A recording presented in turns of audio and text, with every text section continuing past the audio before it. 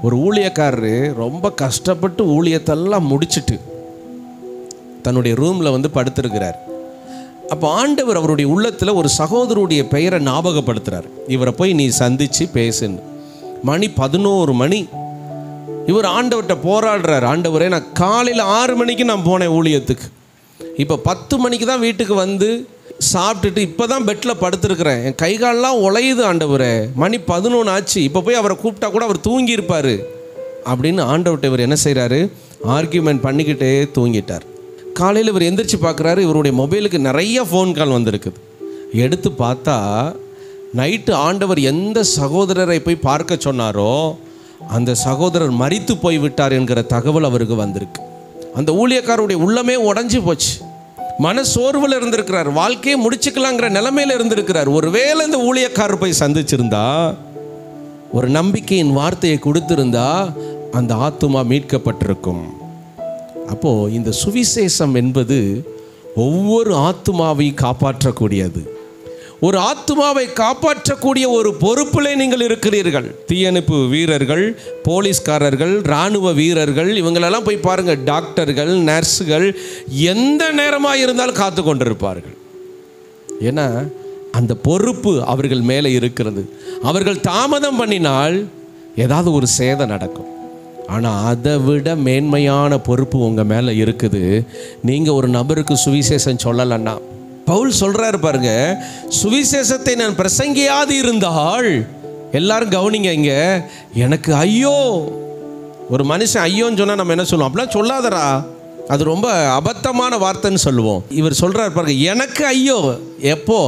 சுவிசேஷத்தை நான் சொல்லாமல் இருந்தால். ஃபஸ்ட்டு சொன்னார் சுவிசேஷத்தை குறித்து மேன்மை பாராட்ட எனக்கு இடமில்லை அது என்மேல் விழுந்த கடமை. அதை குறித்து மேன்மை பாராட்டக்கூடாது. அது ஒரு கடமை. நான் உங்களுக்கு விளங்குற மாதிரி சொல்லட்டா? நான் இன்னைக்கு காலையில் பல்லு விளக்கிட்டு எப்பா மதுபாலா ஃபோன் போடுறேன். நான் இன்னைக்கு பல்லு விளக்கிட்டேன் தெரியுமா? பல்லு விளக்குற மாதிரி ஃபேஸ்புக்கில் வைக்கிறேன் பல்லு விளக்குன மாதிரி செல்ஃபி எடுத்து நிறைய இடத்துல நான் போஸ்ட் போடுறேன். நீங்களாம் என்னை பார்த்து என்ன சொல்லுவீங்க? யோ அறிவு கெட்டவனே. பல்லு விளக்குறது உன் கடமையா?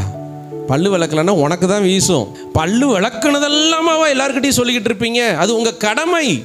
அதே போல் சுவிசேஷம் சொல்கிறது நம்ம கடமை. வருஷத்தின் கடைசியில் என்ன வாக்கு தத்துவம் என்ன வாக்கு தத்துவம் என்ன சுவிசேஷம் சொல்லியிருக்கிறீங்க? எத்தனை பேரை ஆதாயப்படுத்தி இருக்கிறீங்க உங்கள் ஸ்டேட்டஸில் ஒரு சுவிசேஷத்தை வைங்க.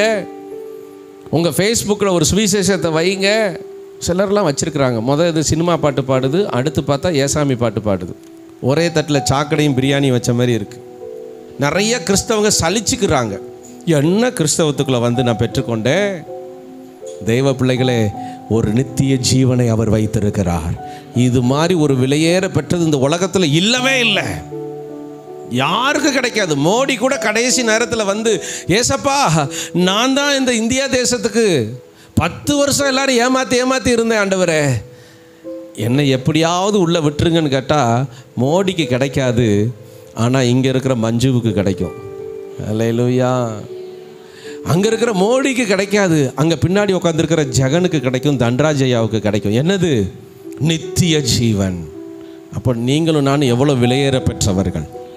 அந்த நித்திய ஜீவனை நாம் பெற்றுக்கொண்டுட்டு எவனுக்கும் சொல்லக்கூடாது. அவன்லாம் வரக்கூடாது பரலோகத்துக்கு. நான் மட்டும்தான் பெற்றுக்கொள்ளணும். சண்டை போடுறாயன் கூட அவ. அவளுக்கு சுவிசேஷம் சொல்லக்கூடாது பாஸ். அவன் நரகத்துக்கு போட்டோம் இயேசுவின் நாமத்தில். அவளோட சேர்ந்து நீயும் போக வேண்டும். நல்லா கவனிச்சுக்கோங்க. ஆத்ம பாரம் இருந்தால் யாரையுமே வெறுக்க மாட்டோம். ஒரு ஊழியக்காரர் என்கிட்ட பேசும்போது சொன்னார் பாஸ்டர் நாங்கள் போனவர் அந்த கிராமத்தில் போய் ஊழியம் செஞ்சோம்.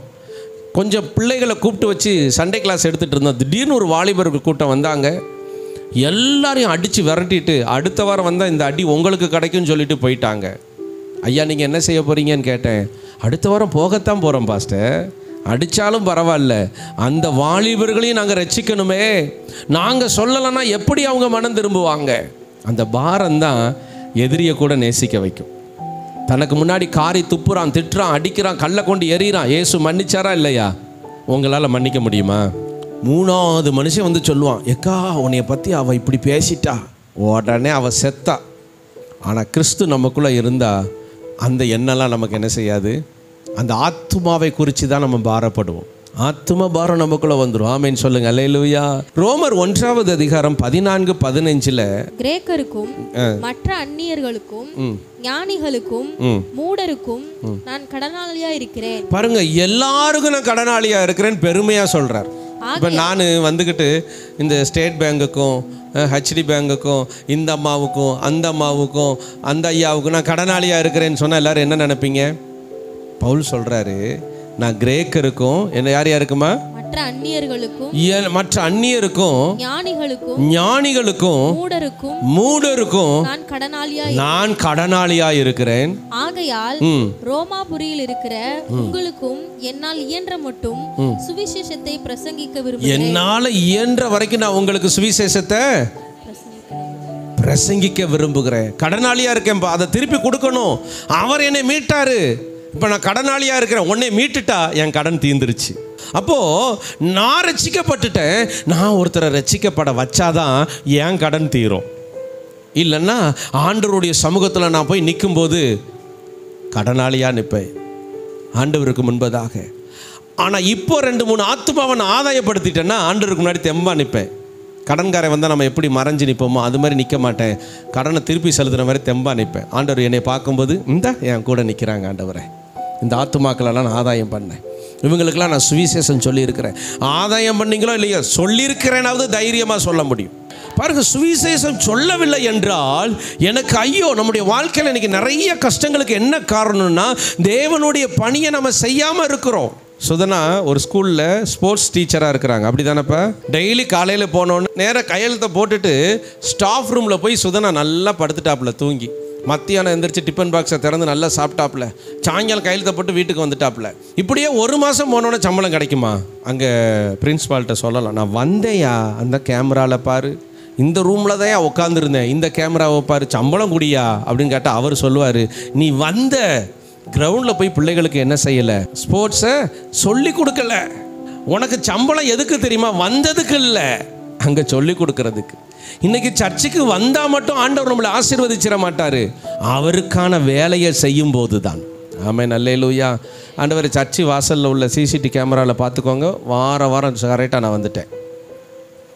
அங்கே பாஸ்டரோட ரிஜிஸ்டரில் பார்த்துக்கோங்க. வார வாரம் நான் வந்துட்டேன். நீ வந்தது பெரிய விஷயம் இல்லை. உன் எனக்கான வேலையை நீ செஞ்சிருக்கிறியா? ஆண்டவருக்கான வேலையை செய்யும்போது நமக்கான ஆசீர்வாதங்கள் அதாவது எப்படி சம்பளம் நமக்கு வருதோ அதே மாதிரி நமக்கு கிடைச்சிரும். ஆனால் அதே நேரம் அதை செய்யாத போது அந்த இரத்த பலி நம்ம மேலே வந்துருமா? என்ன வந்துடும் இன்னைக்கு எத்தனை பேர் ரத்த பள்ளிக்குள்ளே இருக்கிறோன்னு தெரியல. நிறைய நேரம் ஜெபிச்சா அற்புதம் நடக்க மாட்டேங்குது. ஜெபிச்சா ஆண்டவர் கேட்க மாட்டேங்கிறாரு. சிலர் சர்ச்சைக்கு வந்து ஒரு மேன்மையும் நம்மளால் பார்க்க முடியல. ஏன்னா நாம் ஆண்டவருடைய வேலையை செய்யாமல் இருக்கிறோம். ரத்த பலிக்கு காரணமாயிட்டோம். நான் செவனேன்னு இருந்ததுக்கு ரத்த பலிக்கு என்ன காரணம்னா அதுதான் சும்மா இருந்ததுதான். கர்த்தருக்காக எதையாவது செஞ்சுருந்தா கூட ஒன்றும் இல்லை. சும்மாவே இருந்தோம் பாருங்க. நமக்கு வாய்ப்பு கிடைக்குது. சொல்கிறதுக்குரிய வாய்ப்பு. இப்போ ஆண்டவர் எதை குறித்து உங்கள்கிட்ட கணக்கு கேட்பாருன்னா இப்போ பாக்கி அக்கா இருக்கிறாங்க.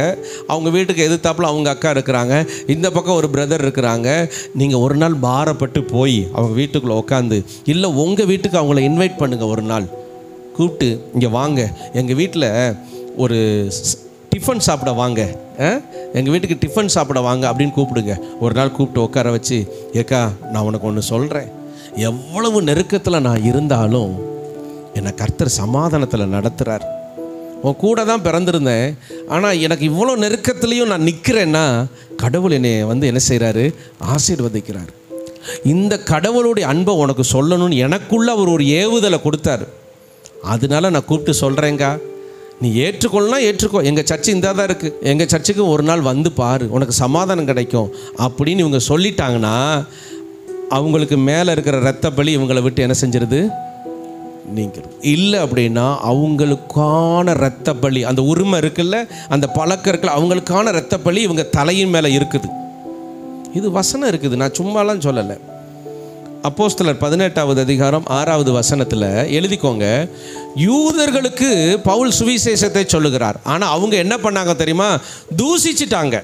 இன்னைக்கு நிறைய பேர் அப்படி தான் சொல்கிறாங்க பாஸ்டர் சுவிசேஷம் சொன்னால் அடிக்க வாராம் பாஸ்டர். கர்த்தருக்காக அடி வாங்குறது எவ்வளோ மேன்மை தெரியுமா? அல்லையிலூயா ஒரு பொண்ணை கையை பிடிச்சி இழுத்துட்டு அடி வாங்கினவனே தெம்பா நிற்கிறான் செயின் அத்துட்டு அடி வாங்குறவன் தெம்பா நிற்கிறான் நீதிக்காக நேர்மைக்காக ரட்சிப்புக்காக ஆண்டவருக்காக அடி வாங்குறது இந்த உலகத்தில் இருக்கிற பாக்கியத்திலையும் பாக்கியம். ஆமே நல்லேலூயா மேன்மையிலையும் மேன்மை கர்த்தருக்காக. இப்போ தூசிக்கிறாங்க. அப்போ இவர் சொல்றாரு உங்க ரத்த பலி உங்க தலை மேல இருக்கும். இனிமே எனக்கு இதுக்கும் சம்மந்தம் இல்லை. நான் புறஞ்சாதிகள் இடத்துல போகிறேன். அப்படின்ட்டு பவுல் போயிட்டார். இப்போ ஒரு வசனத்தை எடுத்து வாசிங்கள். எஸ்ஐகே முப்பத்தி மூன்று ஏழு எட்டு ஒம்பது. மைக்கில் வேகமாக வாசிப்பா. என் வாயில இருந்து நீ வார்த்தையை கேட்குற. இப்போ நீங்கள் எல்லாரும் கேட்குறீங்களா? அன்றருடைய வார்த்தையை கேட்டு. என் நாமத்தினாலே போய் என்ன செய்யுது? எல்லாரும் எச்சரி. நீங்கள் ஆண்டவர் அறியாமல் இருக்கிறீங்களே. அவர் அன்பை ருசி பார்க்காம இருக்கிறாங்களே.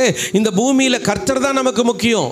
பாருங்க துன்மார்க்கனை பார்த்து சொல்லணும். எப்பா நீ குடிக்கிறதுனால செத்து போயிடுவ நீ கர்த்தருக்கு பயப்படாமல் உன் குடும்பத்தை பொறுப்பு இல்லாமல் நடக்கிறதுனால உனக்கு அழிவு வரும். உனக்கு மரணம் வரும்னு சொல்லி அவனை எச்சரிக்கணுமா? பார்த்தீங்களா அதை அவனுக்கு நீங்கள் சொல்லாமற் போனால் அவன் நிச்சயம் செத்து போகிறது உறுதி. ம். ஆனாலும் அவனுடைய இரத்த பழியை வாங்கிட்ட தான் வந்து நான் என்ன செய்வேன்? கேட்பேன். அடுத்த வசனம். நீங்கள் போய் சொல்லிட்டீங்க. எப்பா இது தப்புப்பா? எக்கா மனம் திரும்புக்கா? தம்பி மனம் திரும்பு. அம்மா அப்பா நான் பெற்றிருக்கிற அந்த அன்பை சொல்லிட்டேன்னு சொல்லி நீங்கள் சொன்னதுக்கு அப்புறமும் அவன் மனம் திரும்பாமல் இருந்தா அவன் அக்கிரமத்தில் சாவான். நீங்கள் உங்கள் ஆத்துமாவை காப்பாற்றி கொள்றீங்க. அந்த இரத்த பலியிலிருந்து லூயா அப்போ உங்களுக்கு இதெல்லாம் விளங்குச்சா? அப்போ நாம் எவ்வளோ பெரிய ஒரு காரியத்தில் இருக்கிறோன்னு பாருங்கள் இதை செய்யாமல் இருக்கிறது தப்பு. இன்றைக்கே போய் ஃபோன் பண்ணும்போதெல்லாம் சும்மா அதுக்காக இன்றைக்கிலேருந்து சுவிசேஷம் சொல்ல ஆரம்பிச்சிட்டேன். ஏன்னா கொஞ்ச நேரம் நீங்கள் பிரசங்கம் பண்ணுங்கள் நான் வெளியே போய் சொல்லிட்டு வந்துடுறேன்னு சொல்லி ஆர்வ கோளாறில் எதுவும் பண்ணாதீங்க. சரிங்களா? ஒரு கறி கடைக்காரர் ரசிக்கப்பட்டார். இப்போ நான் உங்களுக்கு சொன்ன மாதிரி ஏதோ ஒரு ஊழியக்காரர் சொல்லி கொடுத்துட்டாரு. அடுத்த நாள் கறி கடையில் கறி வெட்டுறதுக்கு நிற்கிறார் கத்தியோட. அப்போ ஒருத்தர் கறி வாங்க வந்திருக்கிறார். அவரை பார்த்து கேட்ட பரலோகத்துக்கு போறியா? கத்தி எடுத்துட்டு என்ன கேட்குறாரு பரலோகத்துக்கு போகணுமா? ஆண்டவர் உன்னை எதிர்பார்த்துட்டு இருக்கிறார். அவர் கறி வாங்க வந்த பைய போட்டுட்டு பைக்கை கூட எடுக்காம ஓட்டமாக ஓடிட்டு ஆத்தாடி கறி கடைக்காரனுக்கு பைத்தியம் பிடிச்சிருச்சியா? கத்தி எடுத்து காமிச்சிட்டு பரலோகத்துக்கு போகணுமான்னு கேட்குறானே அப்படின்னு. ஆர்வ கோளாறுல எதுவும் பண்ணாதீங்க. இன்றைக்கே போய் யாருக்கு சுவிசேஷம் சொல்ல போகிறீங்களோ அவங்களுக்காக ஒரு நிமிடம் ஜெபம் பண்ணுங்க. இவங்ககிட்ட பேச போகிறேன் ஆண்டவரே. அவங்க செவிகள் அடைக்கப்பட்டிருக்கும். அவங்க கண்கள் குருட்டாட்டம் பண்ணப்பட்டிருக்கும். அப்படி தானே வசனம் சொல்லுது? ஆ? அவர்கள் கண்கள் இருந்தும் காணாதவர்களாக இருக்கிறார்கள். காதுகள் இருந்தும் அவங்க கண்களை திறக்கணும் அவங்க காதுகளை திறக்கணும். அதுக்கு தான் இந்த சுவிசேஷம். திறந்து விட்டுட்டா அவங்க கர்த்தருக்காக பிரகாசிக்க ஆரம்பிச்சிருவாங்க. ஹலே லூயா அப்போது நல்லா புரிஞ்சுக்கோங்க. இதை சொல்லலைன்னா நம்ம ஆத்துமாவுக்கு நம்ம காப்பாற்றிக்க முடியாது. அப்போ இத்தனை நாட்களாக நீங்கள் ஆண்டவருக்காக என்ன செஞ்சுருக்கீங்க இந்த வருஷத்தில்? ஆத்துமாக்களை சபைக்கு கொண்டு வரணும். நீங்கள் ரட்சிப்பை பற்றி எடுத்து சொல்லணும். எத்தனை பேர் செய்கிறதுக்கு இன்றைக்கி வாஞ்சியாக இருக்கிறீங்க? செய்யுங்க. ரத்தப்பள்ளி உங்கள் தலையிலேருந்து வெளியேறும். உங்கள் குடும்பத்திலேருந்து ரத்தப்பள்ளி வெளியில் போகும். போனதுக்கப்புறம் உங்கள் மேலே ஆசீர்வாதங்கள் வந்து தங்கும். ஹalleluya அவருடைய வேலையை செய்ததுனால வேலைக்காரன் கூலிக்கு பாத்திரவனாக இருக்கிறான். நீங்கள் கர்த்தருக்காக செய்த அந்த ஊழியத்தின் பலனை நிறைவாய் நீங்கள் அனுபவிப்பீர்கள். நான் நம்புவேன் நம்புவேன். உண்மை மட்டுமே என் வாழ்வின் நம்பிக்கையே நீர்தானையா மக்களெல்லாம்